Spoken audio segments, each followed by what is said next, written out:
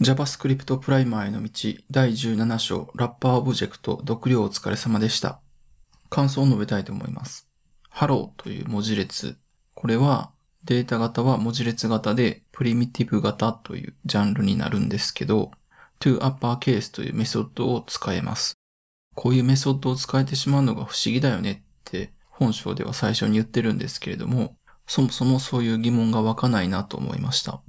文字列リテラルのクォーテーションマークで囲ったハローというこの文字列は new String Hello というのと同じということになります。全く同じなので、左の方のリテラルを使った方がいいと本書では書いています。